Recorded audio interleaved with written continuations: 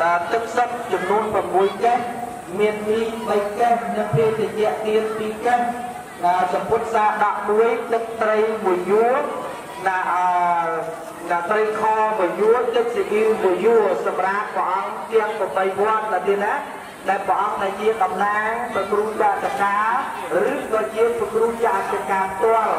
អឺព្រះអង្គវត្តដីខ្នោតគឺព្រះអង្គព្រះគ្រូចាតកាផ្ទាល់តែម្ដង ឥឡូវខ្ញុំប្រកាសណាក៏សូមរតនាព្រះអង្គណាវត្តដីខ្នោតណាព្រះអង្គនិមន្តណាមេមុខទេទៀតហើយព្រះអង្គជាព្រះមន្ត្រីសង្ឃត្រឹមណាព្រះអង្គជាព្រះមន្ត្រីសង្ឃត្រឹមផងហើយសូមព្រះអង្គនិមន្តទៀតណាតាមសំគួរទឹកបតីទាំងក្រុមអឺ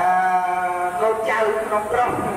ណាហើយសូមសូមសូមរតនានិមន្តតើទីទីខាងមុខបងណាបង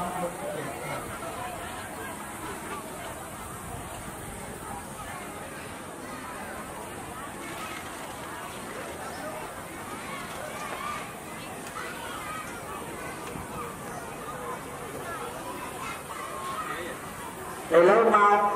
8:54នាទីហើយសូមចម្រើនពរដល់លោកគ្រូភ្លេងផងដែរថាពេលដែលព្រះអង្គនិមន្តប្រាជ្ញាគ្រប់បណ្ឌបាតសូមលោកគ្រូភ្លេង